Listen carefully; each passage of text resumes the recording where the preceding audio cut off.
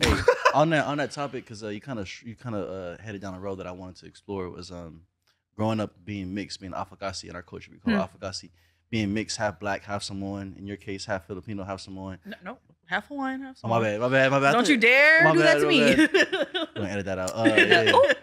Hawaiian and Samoan, but just being mixed growing up, um, and having a different experience depending on how you grew up. But like, I'll speak on mine. Like growing up, being being mixed, I, ne- I never felt like I was black enough or Samoan enough. So I always kind of felt like I was just an outcast or somewhere floating in the middle. You know what I'm saying? And, and it kind of messed me up. Like I remember being younger and not not wanting to be black because you know like I got made fun of my skin. All my cousins were were Samoan, so it just kind of like had a weird taste in my mouth when it came to like being proud of who I was as a, as a kid. And so I think Mhm. I'm just probably in my late 20s I started realizing, you know, like it's cool to embrace who you are, embrace Yeah. embrace both sides. I'm proud to be both. Mhm. You know what I'm saying? I, I have just equal amount of love for both. But how is it for you for you guys, you know what I'm saying, and and your experiences? Yeah. Um, well, like I know that I said like I grew up with a bunch of Filipinos, but that's just I don't know. Like I think it's just because of how I look. They just like just assumed I was Filipino, which is like you know cool for the time being. But like it was, and I explained this to you guys, but I never like told this story on camera. Um, there were these two poly boys that basically, when I was in middle school, made me feel like I was not someone just solely because of my face. Hmm. Um, so like they looked at me and then they asked me for my last name. And granted, like my last name is not a Samoan last name; it's my grandfather's last name, and it's not Hawaiian and it's not Samoan. It's just not poly at all. But um, so that didn't help me in any case either. So they just kept telling me like you're not poly, like you're not Samoan, shut up. And I was like, all right, cool. And then like that cycle continued into Mhm. high school where the Samoan girls didn't look at me like I was Samoan. The you know the poly girls in general didn't look at me like I was poly. They just looked at me as Filipino, especially because I hung out with Filipinos. Mhm. But I'm like, hey, like they going to college, like I'm going to college too, so I need to hang out with them, you know. So, Yeah, but yeah, like it was a lot of that, and it wasn't until I finally got to college, and I avoided Samoans for the rest of like my whole entire life, up until I want to say like my junior year of college when I finally found the Pacific Islander Association. Shout out to y'all um, at CSULB. They gave me like a sense of pride and a Mhm. sense of like space Yeah. to just fully be like a different kind of poly in their world Mhm. and introduced me to what the culture is about. And they showed me what being Samoan is about. Because I, again, I avoided my whole entire Samoan culture after that incident Hmm. in middle school. And that tells you a lot. Like, we, we Haffers, we Afakasi people, like, y'all love to hurt us. Like, y'all love to hurt us. And it's a, it's a shitty ass road. But funny enough, like, it's always the Afakasis who end up being the ones who go the hardest for the culture. If that's if that's something you didn't notice, it's something you will I notice think now. you need to notice it. Yeah. I will say I am full Samoan. So, but I have a lot of cousins. I grew up with a lot of people who are Afakasi. And so, um, growing up, like hearing all of you guys' stories too, we've talked about this off camera before. Hearing everyone's story, I'm just like, that was that experience that you guys have and that perspective is like, is so sad to me. Like, it's, it like, it, it's so sad. And I have a lot of cousins. So I was telling them, like, I never thought it was different. Like, I really thought this is how life is. Yeah. and like we were all like and a tribute to our to our family and our parents about how we were you know raised and stuff. Like my cousins are half black. My other my other cousins are like half white. And like those are my people. Like i'd never seen them as only half. Like i just am like very much this is us. This is who we are. This is how we show up and it's like it's all love like eh, i feel like maybe they have had experiences like you guys and to think of somebody that i love having that experience is so sad to me like it's just it's really unfortunate that we do have those experiences but i can also say like me being full samoan and not being able to speak samoan is probably a different whole thing because you know maybe i'm like whitewashed quote unquote like Plastic poly. yeah yeah yeah Yeah. which is so crazy like the, why do we even have these things these sayings for people who are of the of the culture Yeah.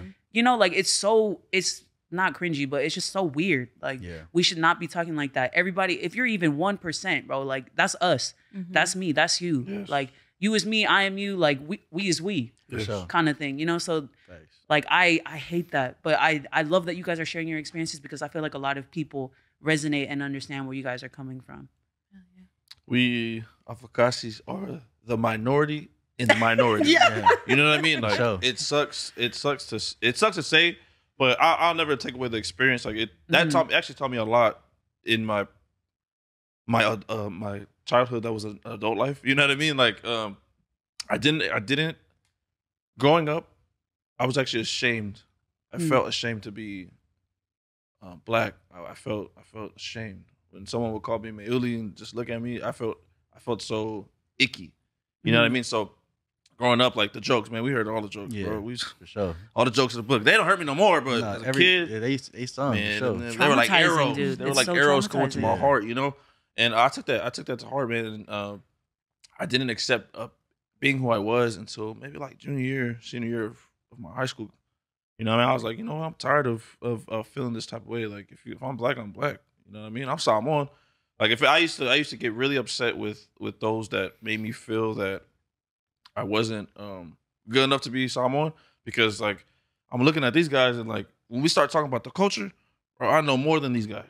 Hmm. Why are they? Why are they trying to get at me? Like, I, there's certain things you don't know about about your own culture, and you're looking at me telling me I'm not Samoan. Like, it's kind of crazy to think about, but I wouldn't take away any of it. Um, I I I, I take pride of who I am as a person, Mhm. as a Samoan man, as a black man. Mhm. I take very, very big pride in it. And uh, when I look at my kids now, you know, my kids are mixed. My kids are Samoan, Tongan, and black. Like, I mean, I ain't gonna lie, they're pretty light skinned. You know what I mean?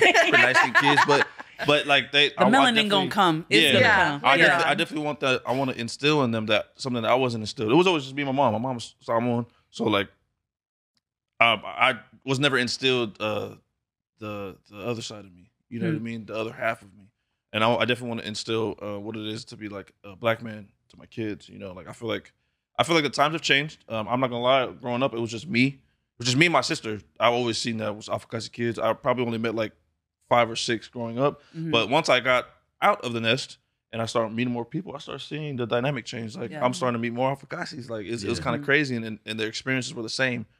And um, you know, like you kind of seen it was like seamless. yeah. And nowadays, I'm starting to see um, more opening. You know, like I Mhm. start, I'm starting to see a little Afakasi kids. I'm like, this is cool. You know, and, and um, I don't find the older people talking mess about Afakasi Yeah, yeah. kids anymore. If anything, Yeah. I see them embracing them, and that I think that's awesome. They have to. Yeah. Saying and like mixing and being able to take part in different cultures is such a beautiful thing. Yes. And it should be like it should be cherished and it should be celebrated because I mean, we're going into just being able to love somebody, whoever you love. You know what I'm saying? Like back in the islands for sure. Like that's, you know, those are your people, that's all you have, that's the pool. Yeah. But when you move to here and you have the experiences and being able to, you know, go out and be in the world, like obviously we're gonna meet other people.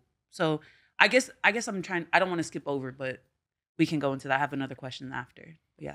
just uh before you before you hit Yeah. that because I, I I will be honest like I've had moments uh as I was starting on the Mogul just you know pushing it I, I felt like damn like am I even qualified to to create this platform or you Hmm. know I, I didn't grow up the most well versed Samoan you know like you know like I told you about my experience growing up like if anything I kind of wanted to move away from the from our culture because I felt like I wasn't welcome. So like I was like all right cool if y'all don't want me around I'm gonna just go here you know what I'm saying? So I didn't grow up learning language. I didn't really learn a lot about the culture until I got older. And so like my whole uh, perspective of the culture, I think is starting to come full circle now.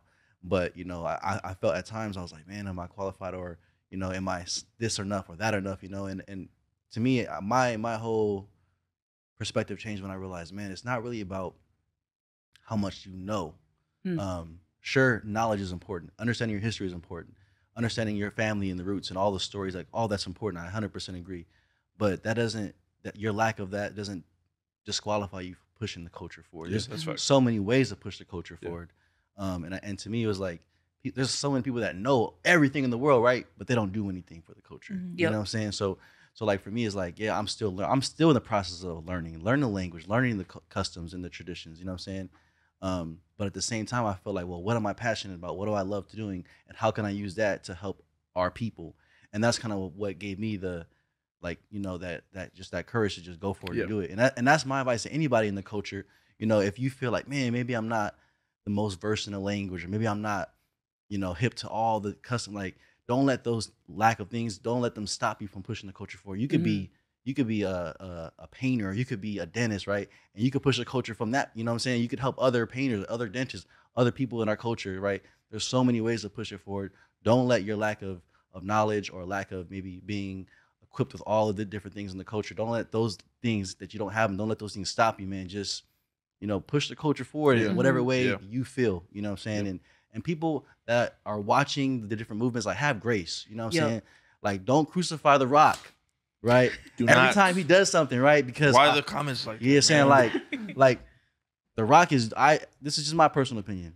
The Rock is doing an amazing job put, putting the culture on the grand stage. yes. It's up to us to support him and, and continue to do things on our end as well. We can't just look at him like, oh, he's not doing enough or he's not doing it. Yeah. Like, well, you go do something then. You know what I'm saying? Like, make a movement happen on your end. You know what I'm saying? But like anybody who's doing something for the culture, whether you're the most this or that, like I, I just commend you. You know what I'm saying? I, And I salute all of our creators, all the Mhm. platforms out there doing anything is love for sure. you want to know why Yeah. he gets that? Because he's Afakasi. I was gonna say. he got the same experience we did. You know what I mean? Yeah. Black Samoan. For Like, sure, yeah. Period. he got he got the same thing. Like, and I'm, I'm proud of him. I'm proud of him. I know we're Yeah. all proud of him. You know what I mean? I just would wish that everybody in the culture would stop putting him down. You know what I mean? Even even the younger, even the younger Usos and Tokos. You know what I'm saying? You know? He's just one person, y'all. He can't take the whole Yeah. culture Yeah. and just do it right the first. Like it's just Yeah. one person. just like all of us we're we're mirrors of our culture but we are not we are our own selves like we're our own individual we have our own perspectives we have our own experiences we're just sharing them through a lens of a polynesian person like that's it we're not necessarily not everybody's on our back for sure we can take it obviously we take that with us but i'm not representing every samoan woman Mhm. woman in this world no i'm only representing myself Yep. and who who raised me like my family that's it Yeah. Mhm. you know what I'm saying? Like I'm not trying to take everybody like everything on like we can't do that as individuals. We have to continue to just keep doing us and stay in our own lanes. Like that's it. Hell yeah. Yep. Hell Yeah. yeah. Oh, I just Yeah. got a dap from Yeah. y'all saying you feel me? I felt that. That was the last day dap. Yeah, yeah, yeah.